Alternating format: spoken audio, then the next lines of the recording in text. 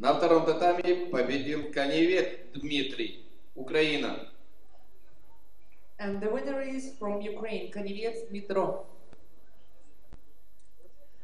На татами 1 победа присуждается спортсмену из Украины Саид Микола.